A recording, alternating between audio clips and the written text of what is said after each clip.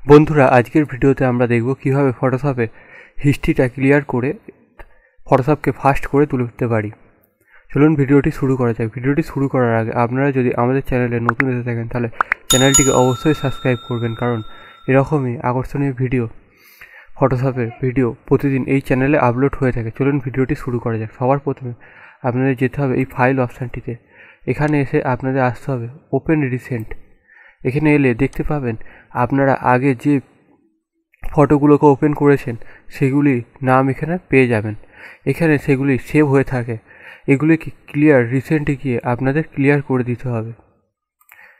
Clear recent করার পরে আবার ওপেন রিসেন্ট অপশানটা খুঁজে পাবেন না, কারণ সেগুলি সব ক্লিয়ার হয়ে গেছে এছাড়া ফটোশপকে ফাস্ট করার জন্য আরও একটি অপশান আছে, সেটি হলো এডিটে যাবেন। এডিটে গিয়ে নিচে পারফরমেন্স পারফরমেন্সে গিয়ে জেনারেল, জেনারেলে যাবেন।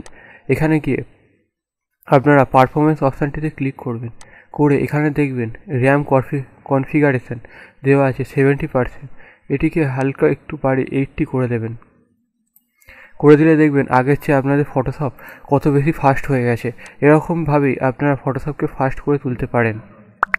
এরকমই আকর্ষণীয় ভিডিও পাওয়ার জন্য চ্যানেলটিকে সাবস্ক্রাইব করুন। Thanks for watching